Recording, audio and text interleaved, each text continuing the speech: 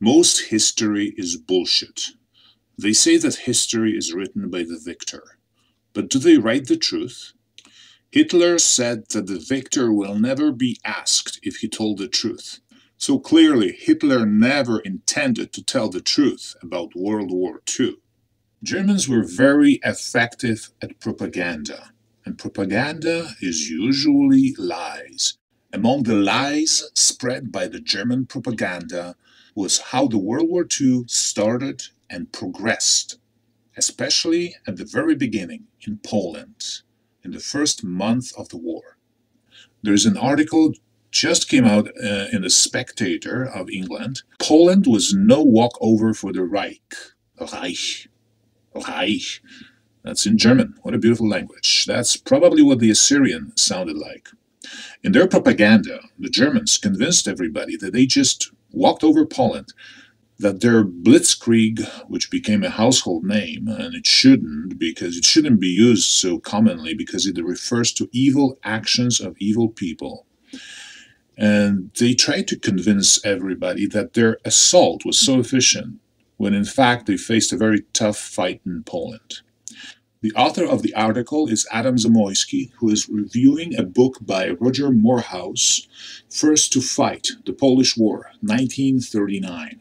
And Roger Moorhouse wrote, The victor will never be asked if he told the truth, Hitler remarked on the eve of invading Poland in September 1939. Nobody believed his claim that Germany was acting in self defense, but they did believe his carefully crafted propaganda to the effect that the Poles were so dumb they used cavalry armed with lances against tanks. I know for a fact that these lies were taught in Canadian schools, at least in British Columbia, supposedly British Columbia, not German Columbia. Children were shown videos of Polish cavalry attacking, supposedly attacking German tanks. These were German propaganda lies meant to ridicule Poland and Polish resistance, because such events never took place. The reviewer Adam Zamoyski says, in his timely and authoritative book, Roger Moorhouse dispels this and other myths concocted by German and Soviet propaganda. Interesting how the Germans and the Soviets always got together. They had a secret pact before World War II, and now they have a secret pact to run oil from Russia to Germany, bypassing Poland, bypassing Ukraine, trying to benefit only the Germans although the Germans should be working with Poland since they are both members of the European Union. But no, the Germans always like to side with the Soviets, with the Russians. And apparently, Roger Moorhouse trolled through an impressive quantity of unpublished Polish and German sources, as well as a wealth of eyewitnesses' testimonies from both sides to produce a balanced account of this much neglected yet important episode of the Second World War, which is both harrowing and inspiring. There could never be any doubt as to the outcome. Poland was a poor country, struggling to rebuild a state after more than a century of partition. And that's an interesting fact by itself. This is um, this is not in the article, but this whole partition thing, which happened before 1939, Poland was was overrun by three neighbors they never had the power and courage to attack Poland one on one, and they, they never won. And that's why they, they never tried. But they ganged up on Poland like criminals, like gangs gang up on people. So, three countries Germany, Austria, and Russia. Again, we have that Germany Russia connection, and Austria joined, attacked Poland, overran it, and divided it exploiting it for the next, uh, the guy says, 100 years. So over that time, Poland couldn't progress. It became weak going into World War II. It seemed like it was fate that Poland would be weakened before the outbreak of World War II. And those three countries, Austria, Germany, and Russia, they wanted to attack Poland because They wanted to keep the aristocracy in power, the royals in Europe. At that time, Poland had one of the most democratic constitutions in the world. It fully supported the American independence, and the stinking aristocrats in Europe, they didn't want they didn't want that happening in their country. They wanted to keep their aristocracy in power, and those freedom ideas from, from the freedom loving people in Poland were not allowed to spread into neighboring Central European countries. So that's why Poland was attacked. And after the partition, Poland was severely weakened, and the economy was wrecked by the First World War and the unpromising climate of the Great Depression. And the article says that the military spending over the five years prior to 1939 was less than 3% of that of Germany.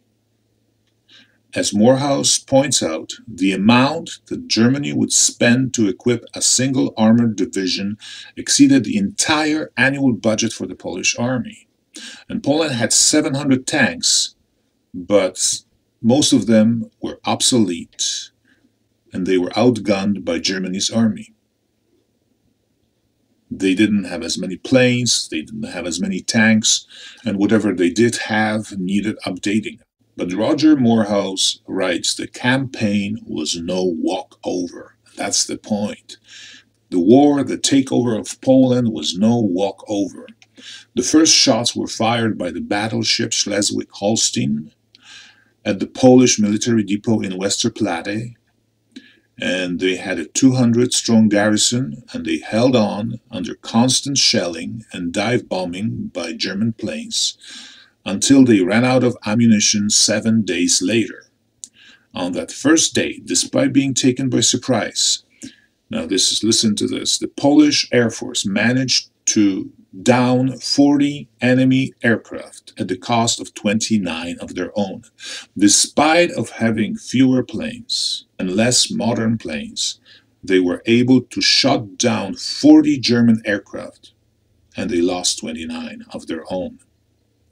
North of Warsaw, the German forces invading from East Prussia were given a bloody nose.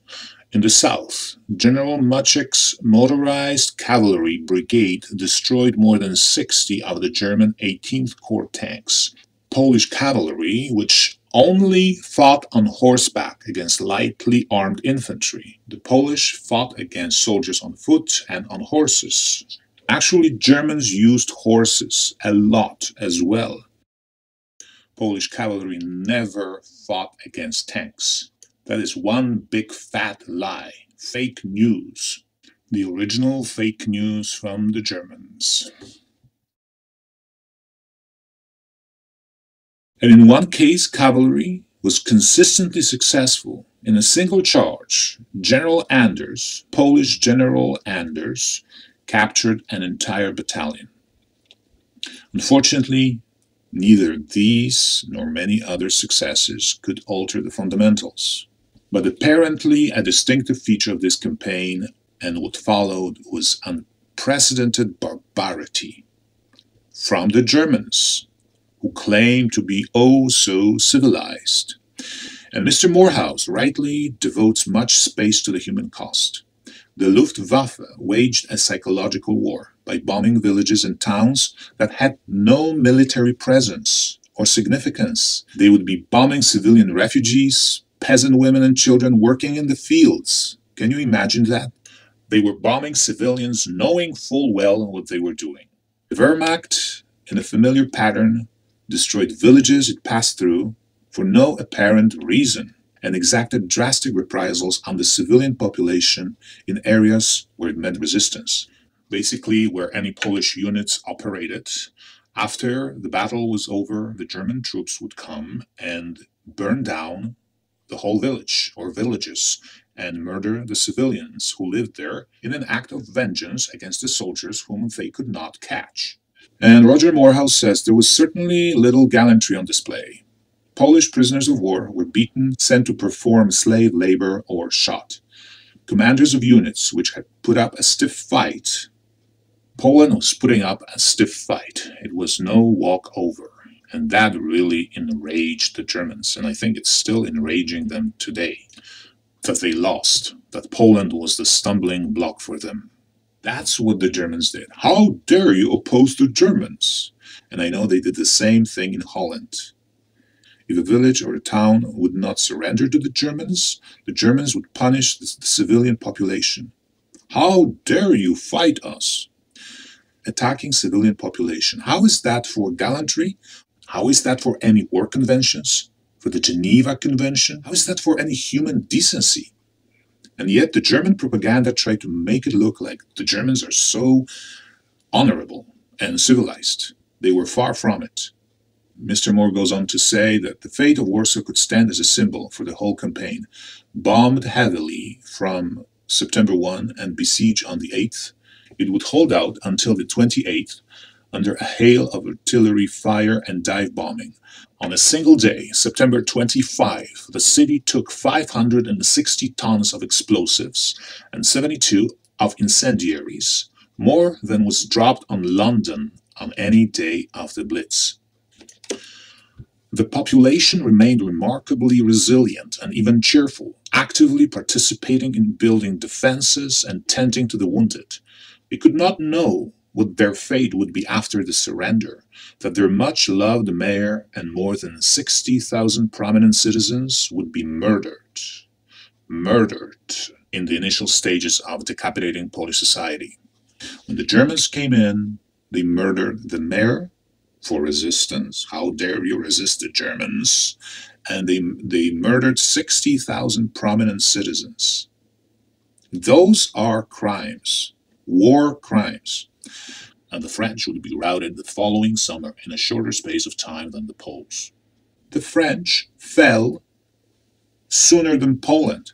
Poland was no walkover. Poland lasted longer and more bravely than France which was very well equipped to fight. Also, the Soviets, who had invaded from the east in collusion with the Germans on the 17th of September, learned nothing, and they too would be thrashed in a quick time a year after that. And this is what President Trump mentioned about the Warsaw Uprising during his last visit to Poland. Now, this is not the Warsaw Ghetto Uprising. This is not done by the Jewish population of Warsaw.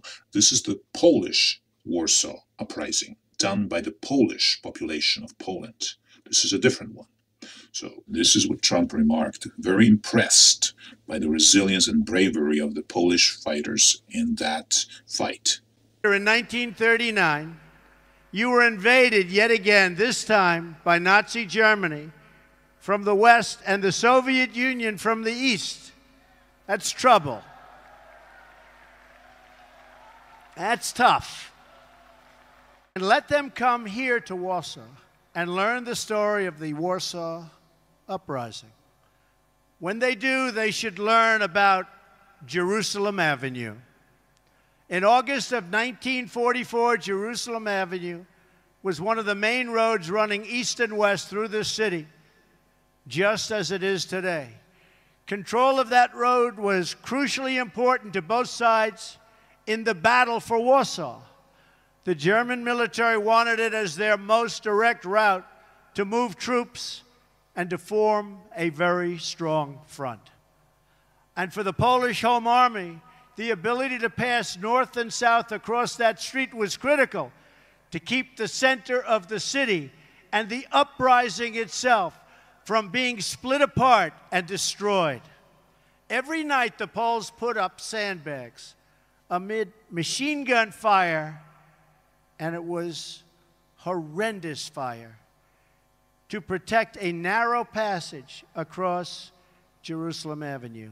Every day, the enemy forces knocked them down again and again and again. Then the Poles dug a trench. Finally, they built a barricade and the brave Polish fighters